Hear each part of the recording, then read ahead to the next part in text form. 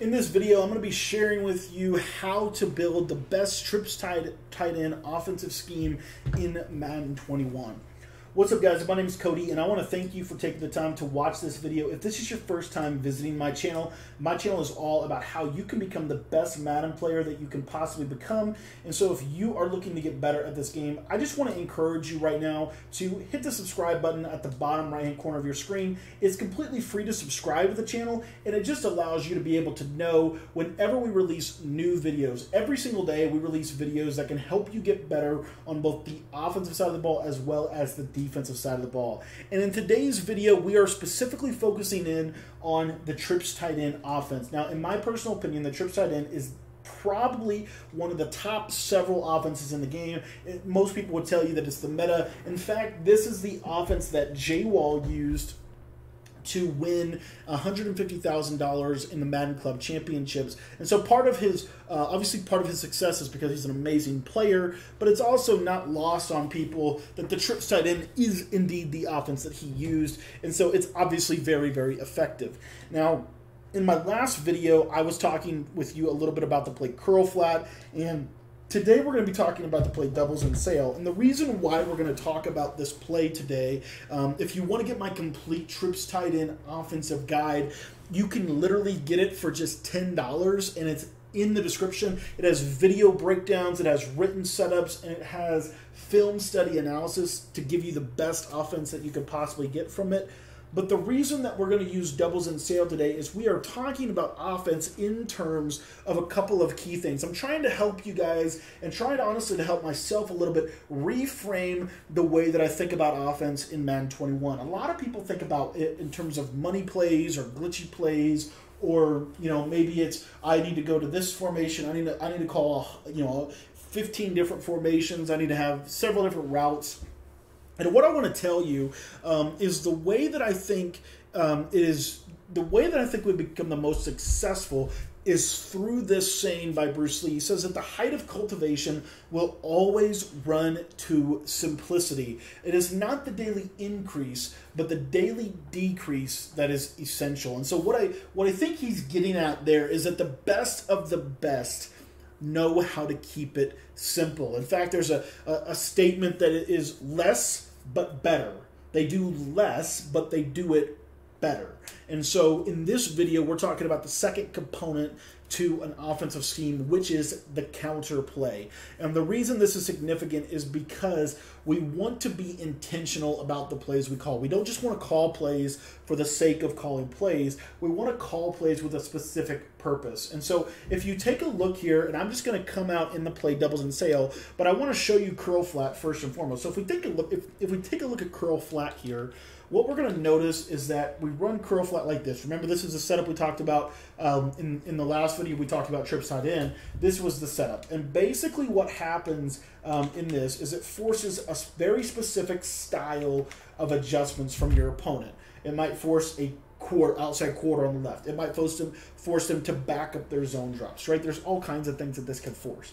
But what you'll notice here is, as you can see on this right side, this circle receiver, you know, is typically open. But as you can see right there, I dropped them back. So it forces a specific style of zone drop.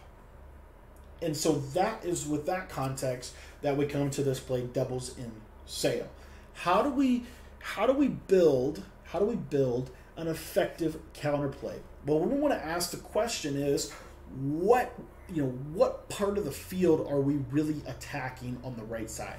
Well, the part of field that we're really attacking, and I'm just going to use the defensive players to show this, is we're attacking kind of this area, you know, 40 to 50 yard line. And on the left side of the field, what we're doing is we're attacking kind of this, you know, little 10 yard area right here. And so what is very probable uh, from our opponent is a defense like this right here. Because remember, the running back on the angle route is going to attack kind of right in here. So what it's very likely that they'll do is they'll just put their little, you know, five to ten yard route over here with Holman, and then they're going to have a yellow zone. And that's it. That's all they're going to do. Um, and so then what's going to happen is they're going to save themselves a player that they can now use on this side of the field to be able to do something like this, right? Something like this right here. Okay, and this is this is what this context that we come to today's video. So as you can see, now it's kind of a different style of defense, and so they're with their user, they're going to basically take away you know this this circle receiver. Okay, so this is where Doubles in Sail comes in handy. What we want to do is we want to basically now flood the left side. We've flooded the right side, and now what we want to do is we want to flood the left side effectively. And so Doubles in Sail does just that. So the play looks like this, and what we're going to do is we're going to smart route both corner routes. As you can see right here, we've got a nice little smart routed corner route on both sides of the field. And then on the uh, on the left side, what we want to do is we want to create essentially a flood concept. And so the way that we can do this is we're going to put the square receiver on a little fade route, and then what we're going to do um, is we are going to be putting the triangle receiver in this example.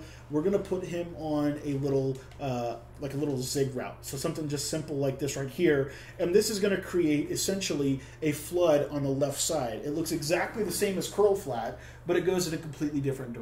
In fact, every route goes in pretty much a completely different direction.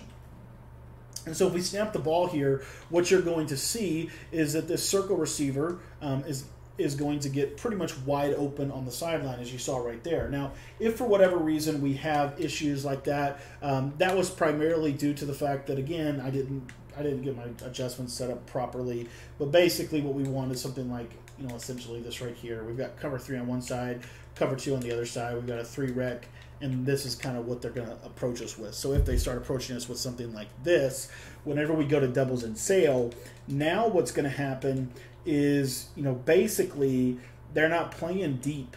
And so because they're not playing deep, the traditional flood is going to work really, really well. Now, something we have to, you know, kind of prepare ourselves for is indeed a Mabel, a Mabel coverage. What what happens when they Mabel coverage? What, what do we do then? Um, well, that's where, you know, again, if you could think about everything that they're likely to do, I want you now to look to the right side of the field. So if we look to the right side of the field, um, and they Mabel coverage you.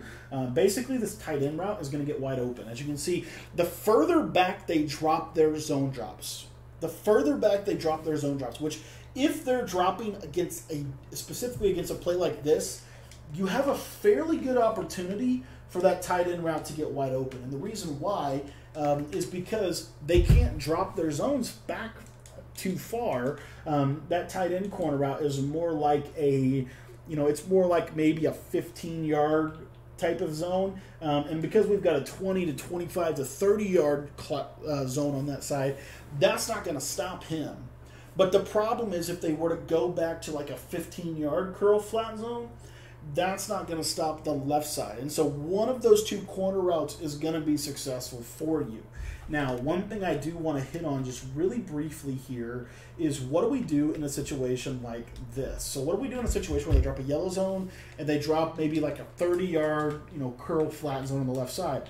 Well, that's where you take your whip route. Your whip route, your whip route, your whip route is super, super effective if you take it consistently. If you take it consistently, you will have success with this. If you don't take it consistently, then you're going to actually struggle quite a bit. So that's really what I want you to understand is this little concept right here. It seems so simple, and it's because it is. And I want you to appreciate the simplicity of this because if you can appreciate the simplicity of this, you are going to begin to have and really play Madden, in my opinion, a lot differently.